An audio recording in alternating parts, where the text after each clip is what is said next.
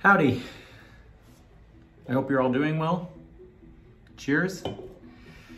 Um, welcome to my office in the world of COVID. I guess more students see my office than ever did in the non-COVID world. Um, those of you who had me before know about my love of Coca-Cola. You may know I'm from Iowa, which the, that's the map behind me. Um, but what you may not know is that I'm actually very political.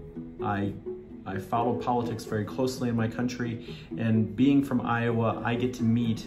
I, I, being from Iowa, I'm very lucky that I get to meet all the presidential candidates. It's we just do in the state of Iowa. So I I first met Joe Biden in 1987 when he was running for president the first time, 33 years ago. Um, met Hillary multiple times, met Obama multiple times, Bill Clinton, only once Bill Clinton. But anyhow, I've, I've had a chance to meet all the people on my side. Um, I came here in 2008, and since 2008, the US has elections every four years. So we had the 2008 election where Obama beat McCain, um, 2012 where Obama beat uh, Mitt Romney, 2016 where Hillary got more votes, but Trump became president, and now 2020, where it's Joe Biden versus President Trump.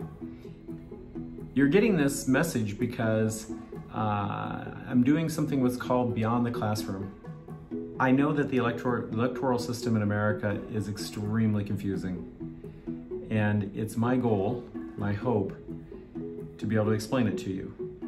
So if you want to join me for Beyond the Classroom webinar,